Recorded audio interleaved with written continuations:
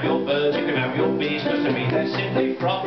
But the thing I'd really like to be is not a bird or a flower or a bee or a fish or a camel or a jumping flea, but a moth, a little moth. Flittering round a candle, frightened to go near, a singeing of your chassis and feeling very queer, or bashing out your brains against a chandelier like a moth, a little moth. Oh,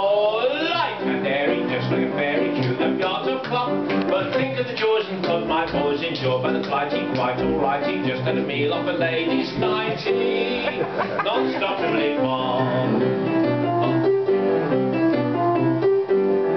You can have your jam, you can have your lamb, you can have your chicken broth. For the things off which I like to dine are a little bit of fur or crepe that shine, sheen, shine on the flannelette of an old mate's spine like a moth, a little moth.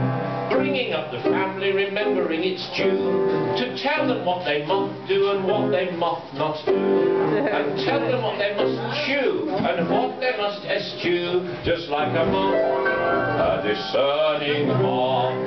Oh, light and airy, just like a fairy, chews up yards of cloth. But think of the scare of dyspepsia that's caused by the fruity, nice and juicy left-on trousers of a Burton snooty to a non-stop nibbling moth. I nibble whatever should come my way. I nibble all night and I nibble all day. So think of the joys and fun my boys enjoy with the flighty, quite all flighty, just at a meal of a lady's nighty, non-stop nibbling moth.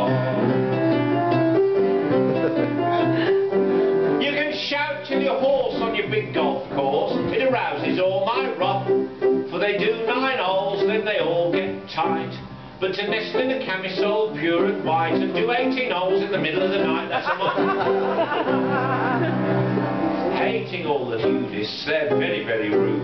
The bare idea appalls me, although I'm not a prude. Not even just a fig leaf to make you think of food annoys a moth, a little moth. Oh, light and airy, just like fairy, chewed up yards of cloth. But think of the joys and fun, my boys, of a great dairy, drinking, swearing, don't give a darn bits of camphor, don't stop the drink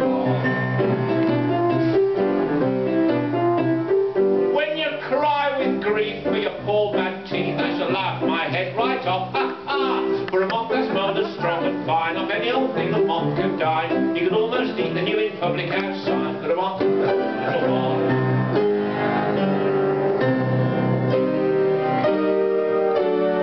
that's a bit of Rachmaninoff's C sharp minor which I put in because Like we're in need of a bit of elevation around here, I was thinking. And that's about as elevated as it's going to get. but we prepare to a tear. Yet upon occasion, life could be a curse. Imagine for a moment, could anything be worse than being found dead in a Scotsman's purse? like a moth, a Gaelic moth. Oh, for the winds, for the winds, for the moth. There's a bit of thrown in, but now light and airy, just like a fairy tune up yards of clock. But think of the end without a friend of a bast up, smashed up, crushed up, bust up, crossed on the floor, and finally brushed up. Me, I've changed my mind.